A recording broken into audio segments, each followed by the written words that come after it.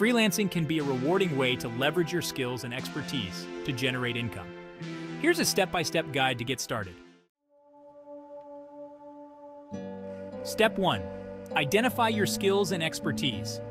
Begin with a self-assessment.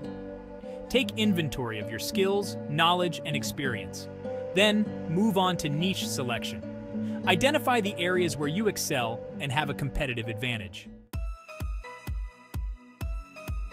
Step 2. Define your services. Start by determining what services you will offer based on your skills and expertise. Then consider specializing in a particular niche or offering a unique value proposition. Step 3. Build your portfolio. Start by creating samples. Develop examples of your work to showcase your skills to potential clients.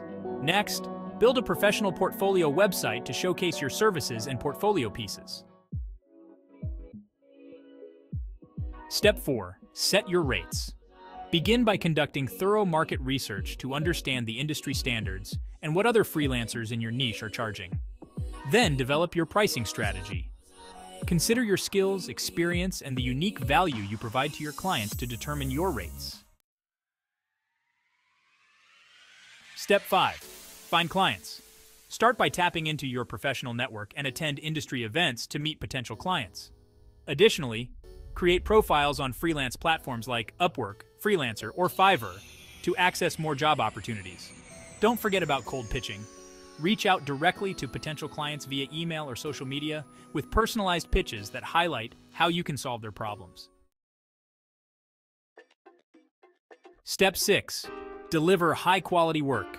It's crucial to maintain open communication with clients throughout the project. Always strive to meet deadlines and deliver work on time. Remember, your goal is to exceed client expectations and provide high-quality work that not only solves your client's problems, but also adds significant value to their business. Step 7. Manage your finances. It's important to send professional invoices to clients for your services.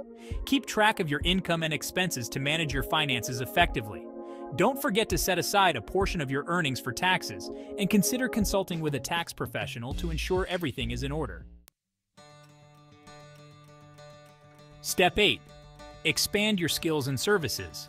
Stay updated on industry trends and invest in expanding your skills and knowledge. Additionally, consider offering additional services or expanding into new niches to increase your earning potential. This diversification can help you stay competitive and adaptable in a changing market. Step 9. Build long-term relationships. Focus on building strong relationships with your clients to encourage repeat business and referrals. Always seek feedback from clients to continuously improve your services and client experience.